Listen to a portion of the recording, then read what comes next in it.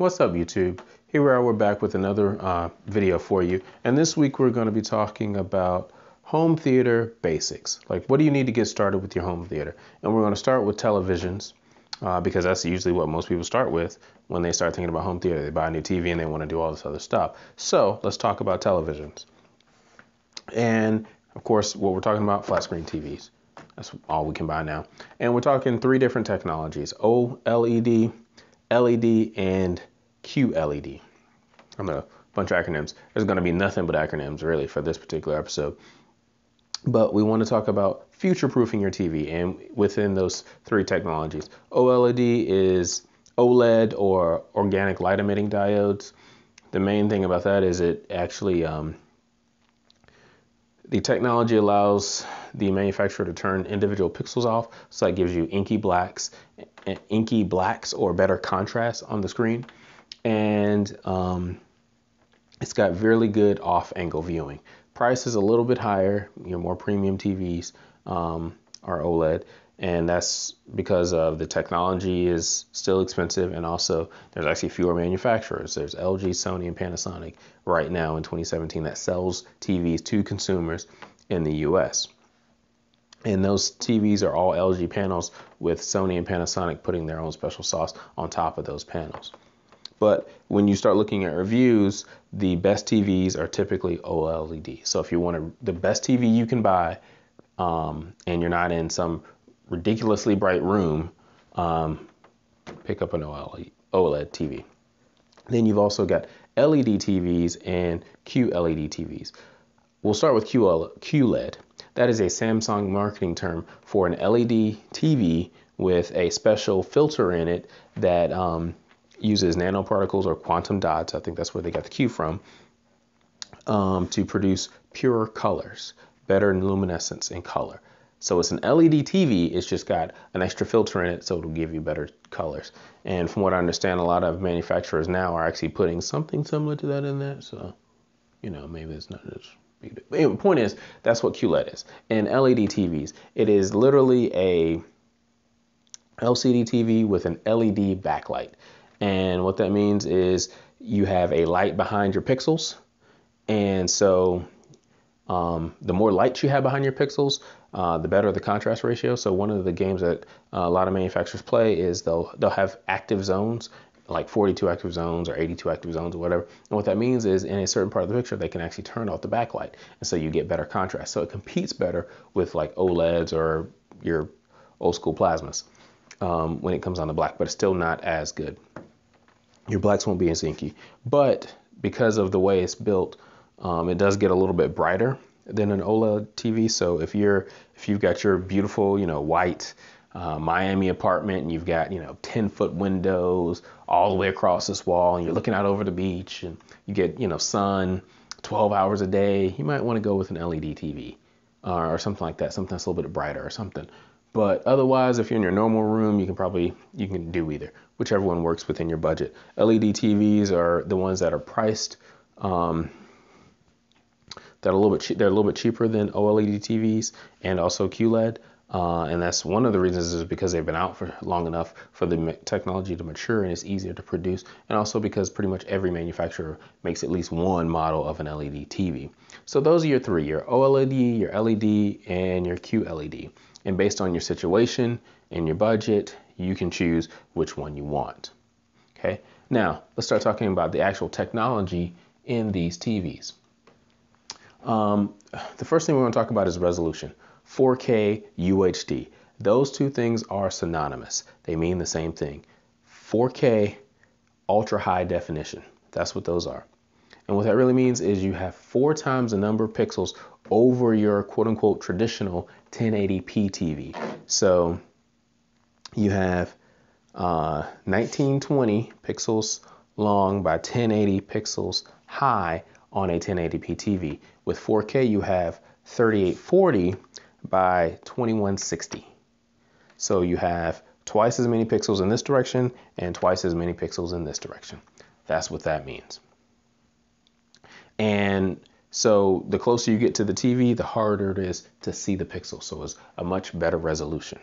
So that's 4K. The next technology is called HDR or high dynamic range. And what that means is you get more contrast than you would in a 1080p TV or in a standard definition TV, or excuse me, standard dynamic range TV. Okay. And so think of it like this if you're watching a movie and you have a 1950s car and there's some chrome on the bumper or some chrome on the tail light or something like that and the sun hits it and it's just really shiny bright.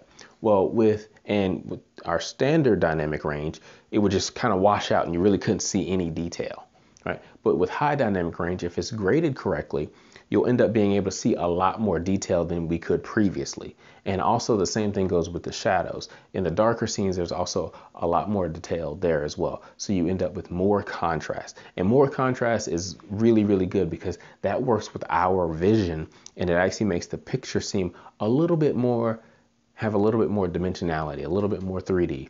Even though 3D is a, you know, I know some people, I love 3D, I hate 3D.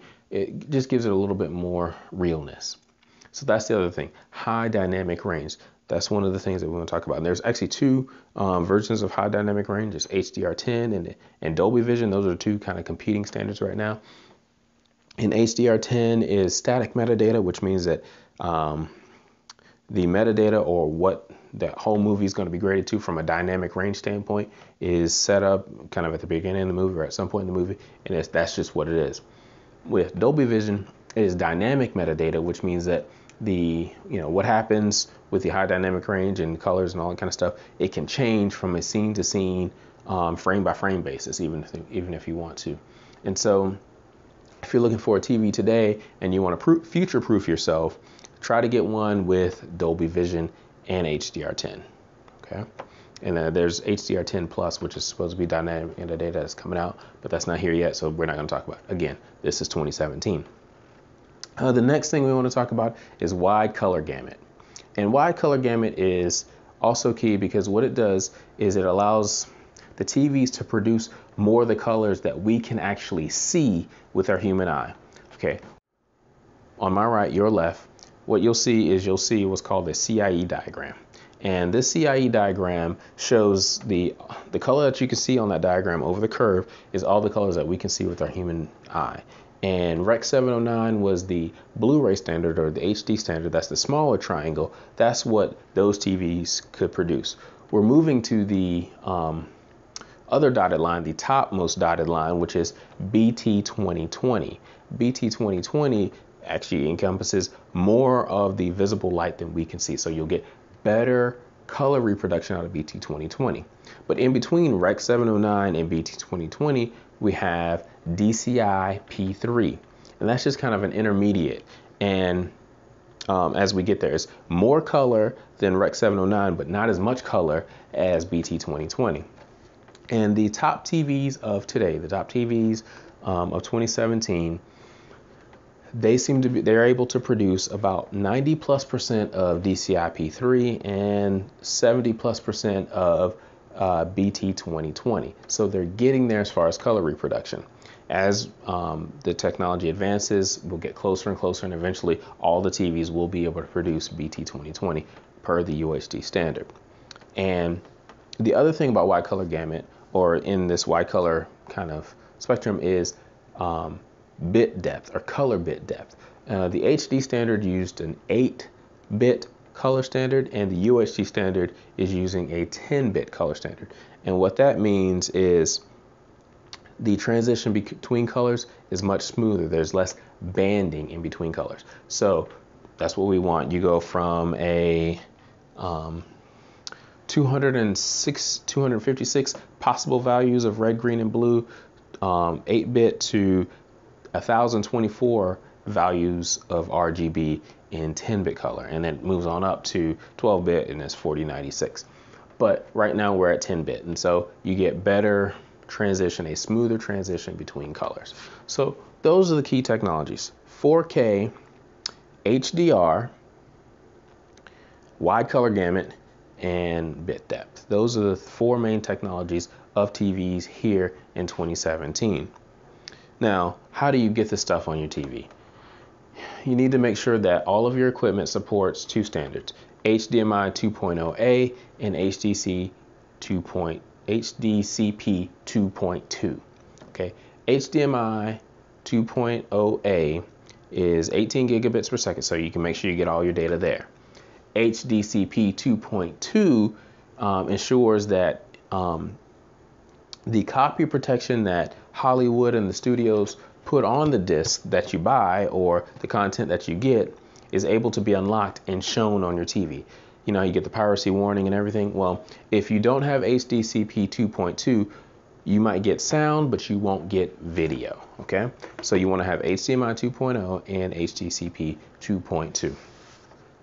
Now, there's all of these terms and all of this stuff, and one of the things that has been done that I'm happy about is the content creators, that being Hollywood, the distributors, Amazon, Netflix, and your television manufacturer, Samsung, Sony, LG, all of them got together and they created an alliance.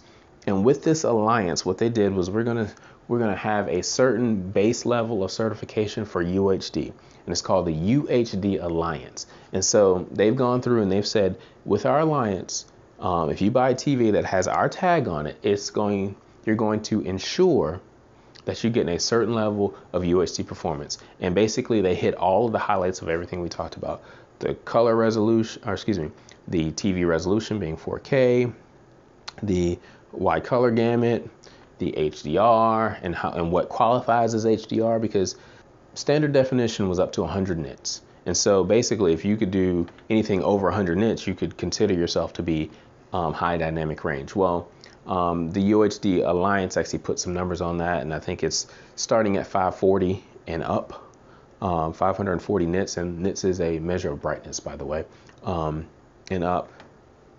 And they have a certain way they measure it. And so, if you buy a TV today and you want to future-proof yourself, or you buy anything today, if you want to buy even these, this disc, you can't see it here probably, but this disc actually has a UHD premium certification standard saying that, hey, this disc meets all that we um, certify for UHD and all that that uh, coalition certifies for U.S. UHD, including HDR. Oh, and this is the movie saying. Um, but uh, if you want to buy something, if you want to future proof yourself, those are things you need to do.